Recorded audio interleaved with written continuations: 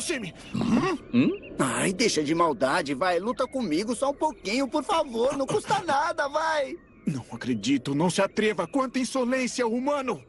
Tá bom, então. Eu não queria fazer isso. O senhor, por favor, poderia gentilmente ceder a honra de fazer uma luta com a minha pessoa? Ande, lute com eles, Amas. Mas, mestre Goas, Esta será uma boa oportunidade para você aprender um pouco mais sobre os humanos. ah, entendi, senhor. Beleza! Ah, eu sabia que o tiozinho aí era gente.